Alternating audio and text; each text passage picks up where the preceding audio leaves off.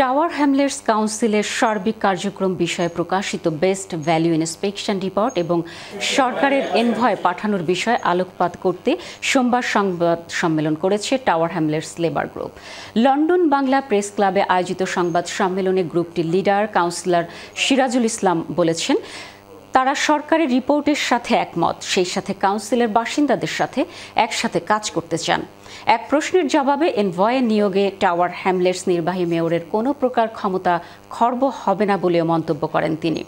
অন্যদিকে এর জবাবে কাউন্সিলের ডেপুটি মেয়র মায়ুম তালুকদার বলেছেন পূর্বের টরি সরকারের পাঠানো ইন্সপেক্টর রিপোর্টের ভিত্তিতে বর্তমান সরকারের এনভয় পাঠানোর সিদ্ধান্তকে তারা স্বাগত জানিয়েছেন। তারাও কাউন্সিলের স্বার্থে একসাথে কাজ করার ইচ্ছে পোষণ করছেন।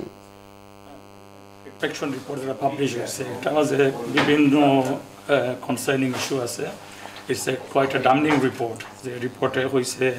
যে কাউন্সিল টক্সিক কালচার সরকারের একটা স্ট্রাকচারের ইম্প্রুভমেন্ট প্ল্যান দিছে কাউন্সিলটা তারা যে লেটার একটা দিছে চিফ এক্সিকিউটিভ আছে কারণ লেখা আছে very clearly The council has failed its best value duty. This is why the government is bringing in statutory intervention in a form of an improvement plan. এটা তিন বছরের ইম্প্রুভমেন্ট প্ল্যান তার কোনো পাওয়ার সিজ করছো নাই এখানেও তাই এই যে ট্রান্সফার ইম্প্রুভমেন্ট বোর্ডটা তাই স্টিল চেয়ার করবা কিন্তু যে দুজন এনভয় দিব তিন বছর লাগে তারা ওভারসি করবো toxic politics is clearly mentioned in the report.